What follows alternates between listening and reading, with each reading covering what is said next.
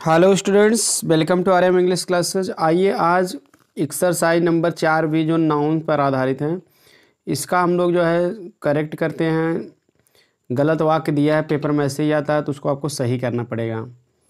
और अगर आप नाउन के बारे में आप नहीं पढ़े हैं तो आप एक्सीलेंट की बुक से पढ़ लीजिए, या फिर आपको जो है नाउन की जो है रूल्स एग्जाम्पल्स की एक मास्टर वीडियो में लिंक दे दूँगा, नीचे आप डिस्क्रिप्शन में उसको ज़रूर देख लीजिए, तब उसके बाद इसको हल करेंगे तो पूरा आपको समझ में आ जाएगा। देखते हैं all the players were in high spirit इसमें गलती क्या है? डायरेक्शन देख लीजिए। करेक्ट द मिस्टेक्स यानी गलतियों को सही करो। इफ़ यानी यदि कोई हो इन द फॉलोइंग सेंटेंस निम्नलिखित वाक्य में यदि कोई गलती हो तो उसे सही करो। यानी कि अगर गलती नहीं है तो आपको सही करने की भी ज़रूरत नहीं है। अगर गलती है तो उसको सही करो। तो चलिए देखते हैं वन बाय वन हर वाक्य में क्या गलती है। All the players were in high spirit सभी खिलाड़ी उच्च उत्साह में थे या ऊँचे उत्साह में थे तो हाई स्पिरिट में यस जोड़ा जाता है। स्पिरिट्स माने होता है उत्साह। आत्मा नहीं तो हो जाएगा स्पिरिट माने आत्मा तो आत्मा तो अर्थ लिखे, लिखा नहीं जाता। हाई स्पिरिट्स माने ऊँचा उत्साह। तो इसलिए यस आप जोड़ देंगे तो वाक्य आपका करेक्ट हो जाएगी। नाउन की मिस्टेक है। हमेशा स्प्रिट में यस जुड़ा रहता उत्साह के अंग्रेज़ी के लिए। आवर सराउंडिंग इज़ एवफुल हमारा जो है पास पड़ोस बहुत एवफुल माने होता है, सुंदर। तो ये सॉरी हाँ ये फुल माने बहुत भयानक या भयानक भी होता है ये ये मिस्ट ठीक है? आवफुल ठीक है भयानक है तो सुंदर नहीं। तो इस तरह से अब आप कुल मिला के आप गलती जानिए। सराउंडिंग में गलती है हाँ सराउंडिंग में यस हमेशा जुड़ा रहता है। और एक बात ये भी जान लीजिए कि सराउंडिंग्स में यस जुड़ा रहता है प्लूरल नाउन माना जाता है तो हमेशा इसलिए इसके साथ प्लूरल वर्ब भी लगेगी। ठीक है, और सराउंडिंग्स आर ऑफुल अगला है the police has surrounded the house. Police ने जो है, घर को क्या किया है सराउंडेड माने घेर लिया है। तो इसमें जानते क्या गलती है? पुलिस आपका हमेशा बहुवचन में प्रयोग होता है। तो इसलिए हैज़ नहीं लगेगा, क्या लगेगा? हैब लगेगा, ठीक? बस, आगे देखते हैं। He took his clothing and left the place without it ठीक? तो इसमें जानते क्या गलती है? ही टुक हिज क्लॉथिंग माने अपना कपड़े कपड़े लिया and left the left the place without informing us और बिना हमें सूचना दिए स्थान को छोड़ दिया। तो जानते गलती क्या है कि अब देखिए क्लाथिंग में यस नहीं जुड़ता है। क्लाथिंग में से यस हटा दीजिए। तो क्लाथिंग माने होता है कपड़े पहनना मतलब पहनने का कपड़ा। तो क्लाथिंग होता है उसको जीरंड हिज क्या आपका? पजेसु केस का पजेसु केस है तो इसके बाद जीरंड आता जीरंड में यस नहीं जुड़ता। तो एज ए क्लोथिंग जो जीरंड के रूप में आया तो मतलब अपना कपड़े लिए तो इसमें यस नहीं जुड़ेगा, कभी भी। आई फार्म में जीरण में यस नहीं जुड़ता, जब उसके पहले माई और ही चढ़ाता। तो ये जीरण नहीं माना जाएगा जीरण में यस नहीं जोड़ा जाता। तो यस हटा दीजिए, पहली गलती तो ये है, ठीक है? बाकी सब कुछ सही रहेगा। वो अपना कपड़ा लिया और स्थान को बिना हमें सूचना दिए छोड़ दिया। या फिर आप क्लॉथिंग में यस नहीं नहीं अगर आप हटाना चाहते हैं तो पूरा क्लॉथिंग को ही हटा दीजिए, आप यहाँ क्लॉथेज भी लिख सकते हो। ठीक है, दोनों सही है ही टू हिज क्लॉथेज वो अपने क्लॉथेज माने होता है, सिले हुए कपड़े। तो ठीक है, वो कपड़े लिए और क्लॉथिंग माने भी पहनने का कपड़ा। तो clothing T H I N G रहेगा, या तो क्लॉथेज लिखा जाएगा, लेकिन क्लॉथिंग में ऐसे नहीं जुड़ा जाएगा इतना जानना तो इस तरह से आप इसको ऐसे हटा दिए या क्लॉथेज में पूरा क्लॉथिंग हटा कर कर दीजिए, सही हो जाए। Can we rely on these information क्या हम इन सूचनाओं पर रिलाई माने होता है? भरोसा करना, निर्भर रहना, निर्भर रह सकते हैं? तब यहाँ क्या दीज क्या है आपको? बहुवचन है। गलती क्या है इसमें? दीज बहुवचन शब्द है। तो दीज के साथ सूचनाएँ बहुवचन बनाना पड़ेगा। तो इन्फॉर्मेशन का वैसे तो बहुवचन यश जोड़ के बनता ही नहीं है। तो इसलिए पहला काम तो आप यश हटा दीजिए। हाँ बहुवचन अगर भाई मेनी है, दीज है, ये सभी आ गया तो बनाना ज़रूरी है। तो उसके लिए एक जुआड़ है। आपको एक्सीलेंट में ही बताना, बताया गया है। P I E C E S pieces उसके बाद ऑफ़ लगा दिए। तो पीसेज ऑफ़ लगा देंगे इन्फॉर्मेशन पहले। तो दीज पीसेज ऑफ़ इन्फॉर्मेशन मानी ये इन सूचनाओं अपने आप बहुवचन हो जाएगा। अगला there was a lot of mistakes in your exercise तुम्हारी एक्सरसाइज मैंने अभ्यास में बहुत सी गलती थी।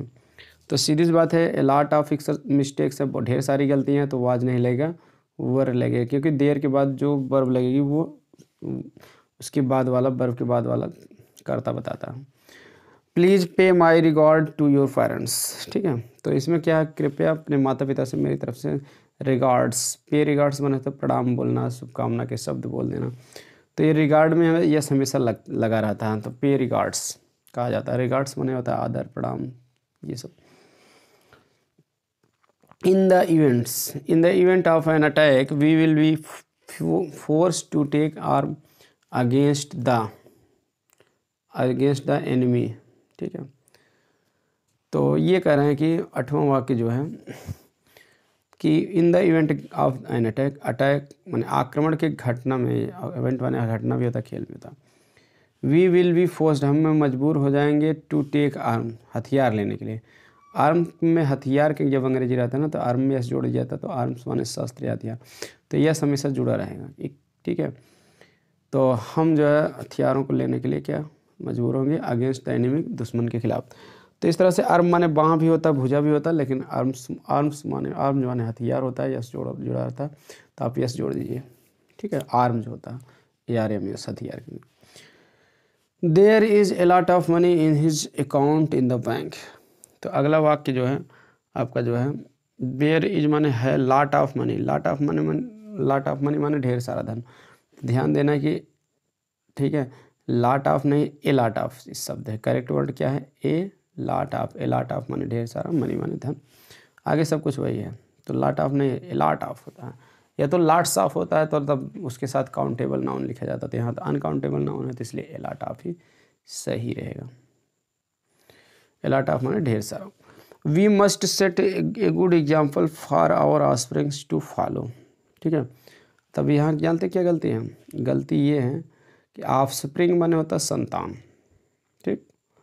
तो संतान there is lot of we must हाँ तो संतान की अंग्रेज़ी में यस नहीं रहता है। ऑफ़ स्प्रिंग केवल कहा जाता है। P R I N G न कि यस तो यस हटा दीजिए, आपका वाक्य करेक्ट हो जाएगा। और बाकी कोई गलती नहीं है। अगला है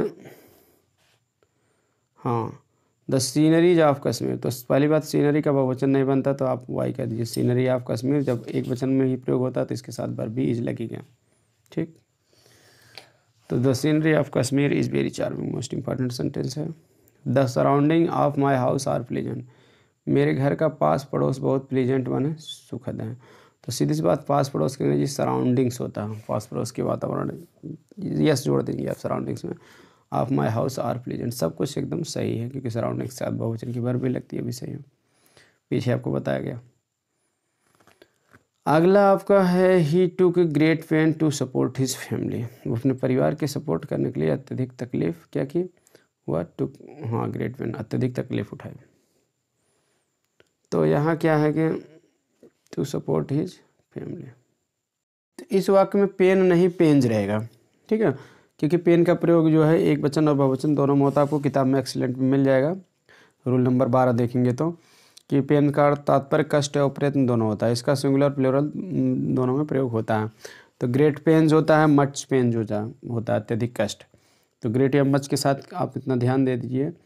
मतलब तेरह हाँ ग्रेट या मच के साथ पेन्स रहेगा पेन नहीं रहेगा। ठीक है? अत्यधिक कष्ट।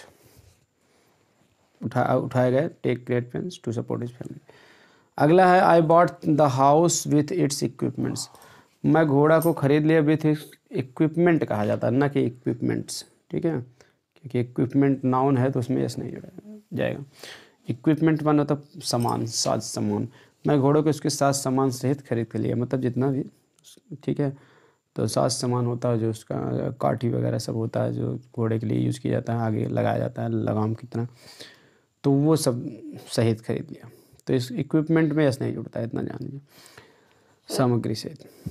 He has bought costly furnitures तो वह कीमती फर्नीचर खरीदा है। तो सीधी सी बात है फर्नीचर में यस नहीं जुड़ता है। ठीक है तो आप इसमें आराम से यस हटा दीजिए, बात ख़त्म। कॉस्टली फर्नीचर वह कीमती फर्नीचर खरीद चुका है। ठीक? तो आगे है। A pack of hound attack the herd of sheep and killed a few तो a pack of hound hound देखिए हाउंड में यस जोड़ देंगे आप यहाँ। हाउंड माने होता है शिकारी कुत्ता। जो शिकारी कुत्ता होता है सीआईडी वगैरह के पास तो उसको कहते हैं हाउंड। पैक माने होता है समूह, उनके ग्रुप को पैक रखते हैं। पैक ऑफ़ हाउंड माने तो शिकारी कुत्तों का समूह। अटैक द हर्ड ऑफ़ सीप भेड़ के झुंड पर क्या कर दिया आक्रमण कर दिया एंड किल्ड ऑफ़ यू और कुछ को मार भी दिए। तो सीधी सी बात है, हाउंड में जोड़ दिए शिकारी कुत्तों का पैक में समूह क्योंकि वैसे भी आपके बाद बहुवचन का नाउन आता तब तो उसी में से तो एक समूह बताया जाएगा। These news have disturb the peace of my mount तो अब देखिए न्यूज़ का प्रयोग हमेशा एक वचन होता तो हैव हट के हैज़ हो जाएगा। आगे सब कुछ वही है। ठीक? तो दी, और एक बात और ध्यान देना कि न्यूज़ जो है, हमेशा एक वचन होता है। एक वचन का शब्द है तो इसलिए इसके साथ दीज भी नहीं लगेगा दिस रहेगा। तो इतना भी कर देना। दिस न्यूज़ तब हैव का हैज़ आगे सब कुछ वही रहेगा। अगला। He does not appear to have any brain ठीक है उससे ऐसा नहीं लगता कि उसके पास कोई दिमाग हो। तो इसमें गलती क्या है? Brain he does not appear to have any brains any any के साथ ब्रेन नहीं ब्रेन्स रहेगा। उससे ऐसा नहीं लगता है कि उसके पास कोई भी दिमाग हो एनी ब्रेन्स ब्रेन में ऐसे जोड़ देंगे। अगला है his hairs have turn grey उसके बाल जो है काले हो गए हैं। ठीक है? तो सीधी सी बात है हेयर्स में से जब पूरे बाल की बात किया जा रहा है तो सॉरी ग्रे माने होता, भूरा या, होना या पक जाना। ग्रे मिस से भूरा होता है तो पक जाने के लिए भी टर्न ग्रे माने पक जाना, उसके बाल पक गए तो हेयर में से यह हटा दीजिए हैव का हैज़ कर दीजिए। His hair has turn grey ऐसे होगा, उसका बाल पक गया। क्योंकि पूरे बालों की बात की जाए तो हेयर में यस हम नहीं जोड़ते हैं और उसके अकॉर्डिंग एक वचन की वर्ब यूज़ करते हैं। The son of mister Brown Brown is a famous surgeon mister Brown का पुत्र जो है, एक प्रसिद्ध जो है, सार्जन है, शल्य चिकित्सक है। तो यहाँ जानते क्या गलती है? The son of mister Brown's Brown से ये हटा दीजिए मिस्टर ब्राउन खाली कर दीजिए ठीक है, क्योंकि भाई का की अंग्रेज़ी जब उसके पहले आप लगा है तो बाद में वो ये पोस्ट ऑफ़िस लिखना बेवकूफ़ाना है। ठीक है तो the son of mister Brown यही कर देना है पोस्ट ऑफ़िस हटा देना। Is a famous surgeon. एक प्रसिद्ध सार्जन है। तो आई होप समझ में आ गया। ऐसी यूजफुल वीडियो पाने के लिए चैनल को सब्सक्राइब करके घंटी दबा के रखिए, ताकि समय से वीडियो की नोटिफिकेशन आपको मिल जाए। मिलता है नेक्स्ट वीडियो में। कमेंट करके ज़रूर बताइएगा वीडियो आपको कैसा लगा। Thanks for watching video